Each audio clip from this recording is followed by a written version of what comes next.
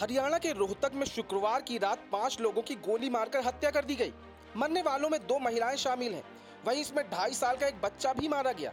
Firing में दो लोग घायल हुए हैं। जानकारी के मुताबिक शहर के जाट कॉलेज के अंदर जिम्नेजियम हॉल के कोच और खिलाड़ियों पर रात साढ़े नौ बजे हमलावरों ने फायरिंग कर दी। घटना की वजह पुरानी रंजिश बताई जा रही है। फायरिंग कुश्ती कोच सुखवेंद्र मोर ने अपने कुछ साथियों के साथ की है। कॉलेज के अंदर मेहर सिंह अखाड़ा में हुई फायरिंग की घटना में सात लोगों को गोली लगी थी। गोली लगने से प्रदीप मलिक, पूजा और साक्षी समेत पाँच लोगों की मौत हो गई। पुलिस ने मृतकों के शव को पोस्टमार्टम के लिए भेज दिया है। घायलों को अस्पताल ले जाया गया है। सूत्रों के मुताबिक रेसलिंग के कोचों के बीच झगड़े में यह वारदात हुई है। हमलावर खुद भी कोच है। उसका नाम सुखविंदर है। वह रोहतक के पास बड़ौदा गाँव का रहने वाला है और काफ़ी समय से यहाँ नौकरी कर रहा था।